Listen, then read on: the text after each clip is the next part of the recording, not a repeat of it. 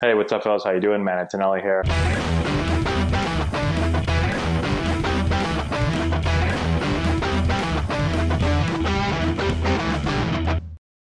Okay, so we're going to talk about some other drills that we did. This is Zoe Hines right here from Boston College. If you haven't seen the other videos that I put up, check those out. I put them up uh, a couple of days ago. And so Zoe was able to improve her bat path, her bat speed, she hit the ball 20 feet further in a really short amount of time, only a couple of hours. Increased her exit velocity by a lot. Again, not just her max exit velo, but her average exit velo. She was consistently hitting the ball harder, had better barrel depth, was from the inside more. Her swing just really improved in a short amount of time. This is one of the drills that we did. We did tons of drills uh, while she was working with us, but this is one that we were doing. Uh, this is a full coil drill, so you've probably seen me do this drill before. I do this with a bag. Now, you definitely, if you watch our channel, you definitely see me use a bag. Uh, we'll do this off of the tee. We'll do it off of flips. Here, I'm just using a, a pool noodle. Uh, and so I'm just holding that pool noodle and I'm holding it pretty deep here in the hitting zone because one of the things that Zoe wanted to do is that she wanted to go forward. So when she first started swinging, her first swings when she came into the facility, she kind of wanted to push forward. Her swing work this way and then off of the ball. And so we're trying to get her to work the barrel deeper. So we wanted the barrel to work back this way, wanted to be more from the inside. And so I put the noodle deeper in the hitting zone to force her to get her upper body to work more north-south, get her barrel to work back. If she didn't, she wasn't going to be able to get this noodle. So um, how do we start this position if you haven't seen us do this drill before? This is the full coil position. So we put our toes forward. We go very light on the outside foot we're feeling ourselves get around this right leg. So I want to feel basically weightless on my left foot. One mistake I see a lot of hitters do is they just have way too much weight over here. So that was one thing I was reminding her as we went through this. I kept saying, make sure that we're we're weightless. We're talking 99% of our weight on our right leg and maybe 1% on our left leg. You're going to take your back pocket and try to turn it towards the pitcher. You're going to close your hips. That's going to get your leg to load back this way.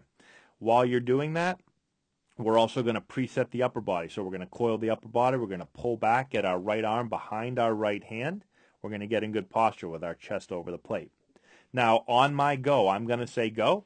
When I say go, she is going to feel her upper body work north-south, this way right here. So we're not going to work forward. We're not going to pull out hard to the left. We're going to work north-south with our upper body. We're going to try to get our upper body to get behind our right leg. So that is the key. Everything she's got. When I say go, she's going to go again north-south with the upper body, and she's going to feel the barrel turn back with the upper body. So her barrel's going to work back, her upper body's going to work back. She's going to start to go palm up, palm down as early as she can. She's going to start to turn the knob up. This is going to get the barrel to work from the inside. It's going to start to enter the zone early right? So again, that's why I have the noodle so far back here. I want to try to exaggerate getting the barrel in the zone early. And now the barrel is going to work slightly up into the hitting zone. She's going to hit the noodle and stop. So I have her doing these swing stops where she's never going to roll her wrists over. She's going to stay palm up with her top hand as long as you can. One thing that she did when she would push forward with her swing, she would push forward. Her swing would go forward, down, and then cut across. And she would turn her right hand over really, really early, causing her barrel to exit left. Her upper body would go left. She'd be around the ball. She'd hook more balls than she wanted to. Well, if you work on staying palm up and don't roll your wrists over, then it becomes really hard to roll over on the ball. And so we're exaggerating this palm up, palm down. Again, north-south with the upper body and no rolling of the wrist. So we just hit the noodle as hard as we can, and then we stop right there. So it becomes like a three-quarter swing. Again, it's an exaggerated swing, an exaggerated drill to really feel being around the right leg. I tell her, pretend like we don't have a left leg because again in her normal swing what she wanted to do is she wanted to shift forward so she would move forward again if you haven't seen her first swing video go back and check that out i threw it up not very long ago but she wanted to get forward. Once you start to shift forward into your left leg too early, everything else wants to go forward as well. You're not able to turn the barrel deep. You're not able to work your body north-south.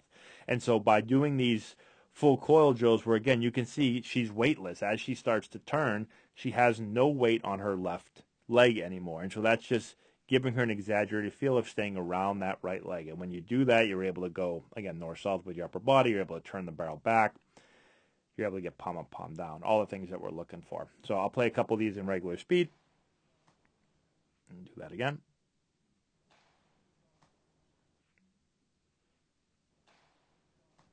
And so she was already a really explosive athlete.